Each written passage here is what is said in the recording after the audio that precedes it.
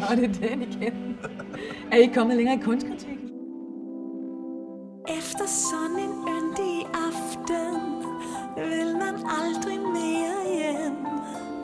Honning fyldt af natteluften, luk døren på klem. Flygtig er dit hjertets stemning, Husk fra skumring og til dæmring er et sekund. Føl dog, hvor mit hjerte banker til venstre netop. Jeg kan læse dine tanker, jeg ved det netop.